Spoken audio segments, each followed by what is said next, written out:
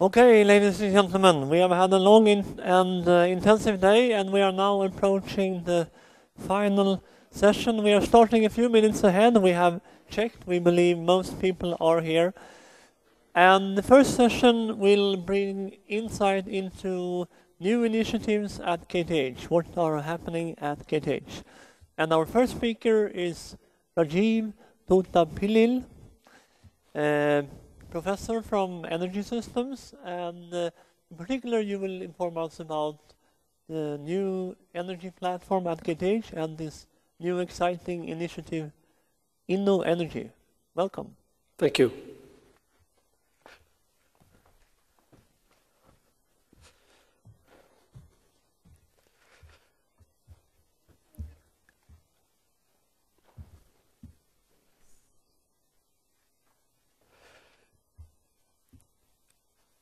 Uh, I'll be talking about energy platform and InnoEnergy. Uh, both of them are somewhat unrelated.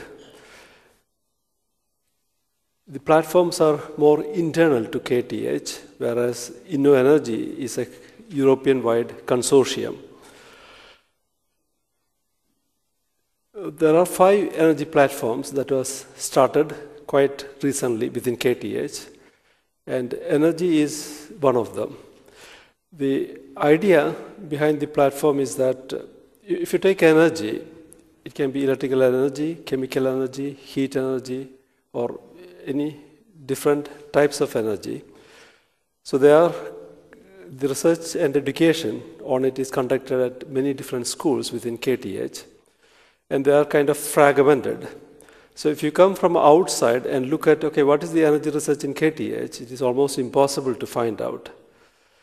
So the initiative of the platform is to, to try to bring together everything under one umbrella. So you have one entry point, and from there you can find out all different aspects of energy.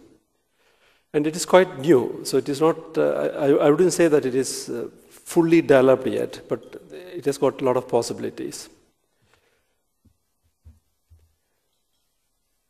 Now, as I mentioned, the platforms are owned by KTH and internally driven, whereas InnoEnergy is a knowledge and innovation community, or called KIC, in sustainable energy, and it is selected by European Institute for Innovation Technology, or EIT. EIT is something new, it started last year only. Uh, the reason for establishing EIT is that uh, uh, in Europe there is a lot of investment on research and development, but in terms of patents and new companies, we are behind the United States. So in uh, this European Institute of uh, Innovation and Technology is trying to bridge this gap, and they uh, initiated calls for three different KICs. One on uh, sustainable energy, on ICT, and on climate change. And several consortiums within Europe were competing. And the consortium that won is InnoEnergy, and KTH is part of that consortium. And later, uh, Kalle will be talking about another uh, such consortium. And InnoEnergy is led by the energy platform. So these are the five energy platforms, materials, science for life, ICT, energy, and transportation. And to give you an example of the various areas represented by energy platform, uh, they are listed over there, starting from batteries, biomass, in alphabetical order all the way to wind power. So it is uh, it covers most of the areas within energy. And it is coordinated by uh, Professor Ramon Wyss.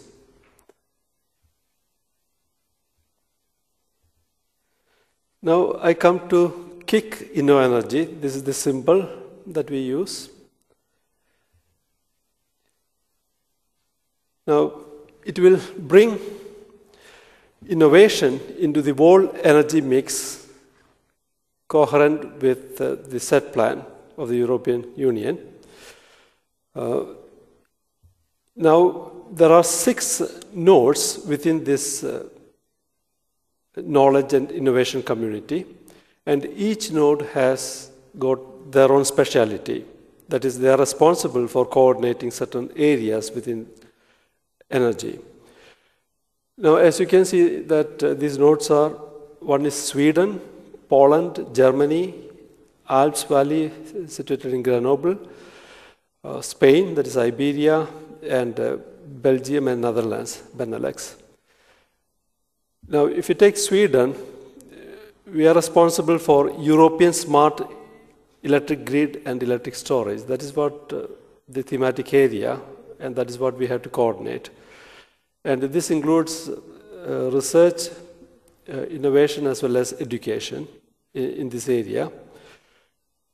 Uh, similarly, other co-location centers has got other topics like clean coal, energy from chemical fuels, sustainable nuclear and renewable energy, uh, renewables like wind, photovoltaic, etc., intelligent buildings. Now, even though these topics are situated in different nodes, there, is, there are cross connections. They are not working in isolation. And we try to bring innovation, research and technology, and education together. So all these three are aspects of the same issue.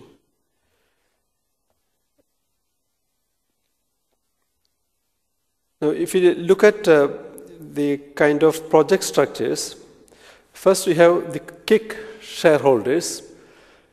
There are 36 shareholders within that, which includes 13 universities, uh, 15 companies, and some research institutes altogether. And these uh, shareholders, there will be a CEO later elected, I mean appointed, and each node also will be having a management team with a node manager. So it is almost run like a company. And the KIC is responsible for thematic coordination. Then there are certain number of uh, projects that you can see over here, thematic projects. And cutting across that, you have uh, something called uh, uh, lighthouse InnoDrivers. And they are driven by certain partners within this uh, KIC. So this is the general structure of uh, the projects as well as education. Now, the difference uh, with EIT is that the KICs should be stakeholder owned and driven, which is true because it is the 35 partners that are owners of the KIC. It has a business style management for efficiency, impact, and speed only 25% of the funding come from EIT, and the rest has to come from the partners themselves because they have a stake in the issues, from other EU instruments like FP7, from national funding agencies, and private sources. And there is a co-location of education, research, business, and innovation. Uh, to give an example, if you take a, a Swedish uh, node, the main partners are KTH, Uppsala University, ABB, and Vattenfall. And there are several associate partners like Fortum, Elforsk, uh, and uh, SPCO, and several other companies. So all of them meet together regularly uh, and decide upon things. So there is already this interaction happening. Now, the success of the KIC is measured not in the normal university terms. If you look at all these uh, key performance indicators, you will recognize the top one and the bottom one as uh, typically university business. That is, uh, students as well as scientific publications. But that is not enough the number of new products and services launched into the market, startups per year, number of European patents, patents transferred to SMEs. So these are the, the key performance indicators by which European Union will judge InnoEnergy. To, to give an example for funding, there are three KICs uh, and total funding of 119. So roughly per KIC, when it is fully operational by 2013, there will be 40 million euro, that is the total funding.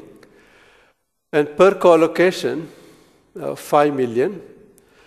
And then you have partner funding, uh, which will be another 10 million, and national co-funding uh, from other agencies 5. So total budget of InnoEnergy this year is 6 million euro, and by 2013 it will be 20 million. And the lifetime is uh, totally 14 years. Uh, and of course, it is expected that it will last even beyond that. Seven years, after seven years, there will be an evaluation. Now, within smart grids and electric storage, for which uh, Sweden is responsible for coordination, uh, this year we have started mainly the technologies and system, the core part, smart power systems, smart grids, and electric storage, for, and smart grid materials. So we started four, four projects, uh, but these uh, projects will be catering to evolution of existing assets into smart grid, energy market design and customer interaction, as well as major smart grid demonstrations. The Royal Seaport that you saw earlier could be part of the smart grid demonstration projects. So these are the four energy projects within Sweden that is starting this year controllable and intelligent power components, smart grids from power producers to consumers, electric storage, and material technology. Now, there is an education part. In this year, uh, we are launching a PhD school in smart electricity grid and storage, and already we have received more than 150 applications. And there will be something like 15 to 20 positions within that this year. And these PhD positions are all, the, all together in the six nodes, and they'll, they'll be meeting together, and there is a compulsory six months mobility to another node. So it is very different from the normal type of PhD programs in a university. Next year, there will be a master's program on the same topic, and already there is a master's program on sustainable energy starting this year. I will stop with that and uh, leave the floor.